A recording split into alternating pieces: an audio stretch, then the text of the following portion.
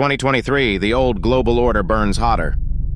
The great game between the West, US, Europe, South Korea, Japan, Australia, and the Chinese axis, China, Russia, North Korea, Iran, exploded into flames in the Middle East.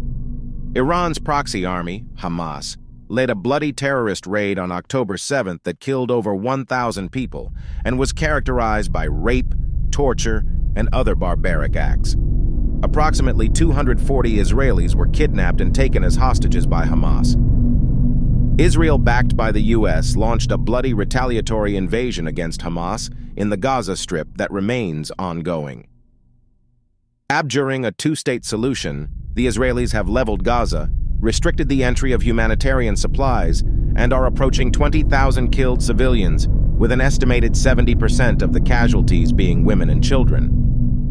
Iran's other proxy armies in the region, Hezbollah and the Yemeni Houthis, have launched sporadic attacks on northern Israel and Red Sea shipping.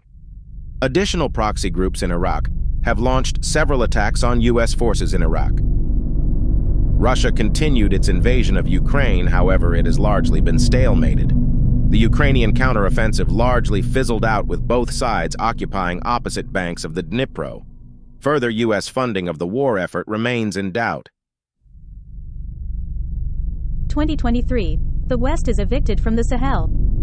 Africa has seen greater success for the Russians. Wagner continues to replace French and UN forces in the Sahel with a US aligned president, Mohamed Bazoum, ousted and imprisoned in Niger.